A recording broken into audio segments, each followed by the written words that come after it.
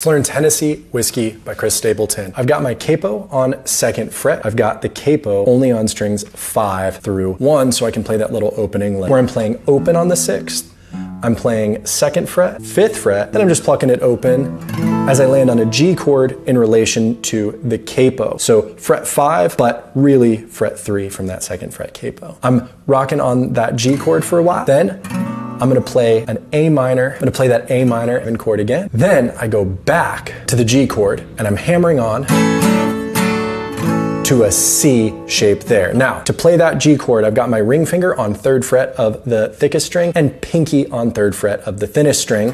That gives me a G. I can use these fingers to hammer on to what would be part of that C chord.